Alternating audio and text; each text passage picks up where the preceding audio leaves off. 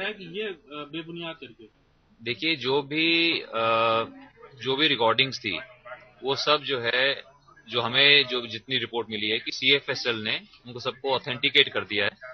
और मैं समझता हूँ कि जल्दी ही हो सकता है कि वो सारी की सारी पब्लिक डोमेन में आ जाएँ। तो आप ज़रूर उनको सब आप सबको अवेलेबल होंगे आप सब उसको आराम से देख सकते हैं मत हटाओ ध्यान आपकी मर्ज़ी है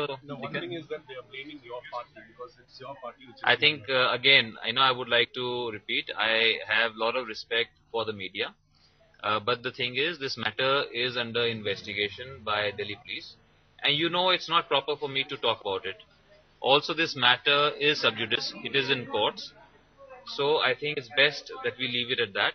And I'm sure our we have made an effort that the truth must come out. Media is a very noble profession and media has to be above suspicion. So it's a very responsible, it is a very powerful channel. I have all the respect for media. So since this matter is under investigation by Delhi police, and uh, so let's let them do the job. And also the matter is in courts, so I would not like to comment anything further. Thank you. Congress MP and industrialist Naveen Jindal, they're reacting to the comments, the charges, the counter charges coming across from the Zee group, trying to say that, well, the evidence, the recordings have been documented and uh, analyzed by the CFSL, the Forensic Sciences Laboratory as well, and also uh, declining to further comment, given that the matter was sub judice. Senior editor Javed Ansari now joins us. Javed, comments coming across from Naveen Jindal as well, essentially, you know, evading any kind of uh, response on these counter charges, but these are serious counter charges coming across from the Zee group as well. Yes, there are, and the only way of getting to the bottom of this is if there is a transparent and thorough inquiry, so that both charges and counter charges and these protestations of innocence from both sides can be thoroughly examined and a conclusion arrived at. Till that happens, we can't, we are not in a position to say anything as far as the guilt or otherwise is concerned.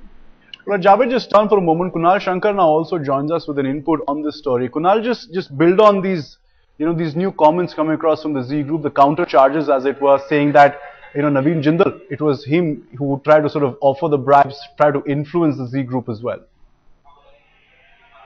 Well, Aditya, uh, that they have maintained all along that in fact it was Naveen Jindal, his entire family, and in fact his entire group that right from the beginning, from the time when Zee News started airing the uh, the uh, their alleged involvement in coal uh, scam, that they have been putting pressure not just through uh, the company and his family, but political pressure. In fact, in their press conference today, Alok Agarwal, the CEO, very pointedly and significantly named three people, uh, all pol- politicians, senior politicians. One is the Congress General Secretary Digvijay Singh. Yes. The other is Arjun Munda, that is Jharkhand's Chief Minister, and Raman Singh, Chhattisgarh Chief Minister, as actually being uh, political emissaries or interlocutors, if you will, of Naveen Jindal, who've been calling and speaking Zee publishers and owners and asking them not to telecast uh, critical remarks or critical content against uh, the group per se. Uh, in fact, in another interesting aspect that they've chosen to highlight in this press conference, Aditya, is the fact that the families of the Zee publishers and the Naveen Jindal family have been go- uh, have been associates of four generations. They have tried to show that Jawahar Goel, one of the shareholders of the company, was in fact asked to come to uh, Savitri Jindal's residence, that is Naveen Jindal's residence here in Delhi at 6 Prithviraj Road, on an evening where the entire family met him and asked him not to telecast. And they have claimed that this is a sort of an emotional blackmail that they used. Okay. Uh, but they, one of the things, uh, interestingly, they were unable to answer just why, on a sort of an emotional note, the entire network chose not to air any more content for the next week or so. That was something that they were not able to answer. Also, po- pointed questions as to why, if there was a counter uh, sort of uh, expose that they were choosing to do, what took them so long to put it together? Yes. And if indeed that was the case, where are their tapes? Those were questions that they were unable to answer. Their demand was that when both Samir Ahluwalia and Sudhir Chaudhary have co- have actually cooperated in this entire investigation, why has Delhi police now chosen to arrest them, despite them agreeing that these meetings have taken place and despite their cooperation in the investigation? And Naveen just also making that point about, you know, CFSL sort of authenticating the, these recordings, these tapes as well, trying to put it out in the public domain. uh, you know, in many ways, re- you know, refraining from making an outward comment about uh, these, these counter allegations as well. But how does this go forth from this point on? Certainly, the case is sub judice, and the Delhi police is also investigating.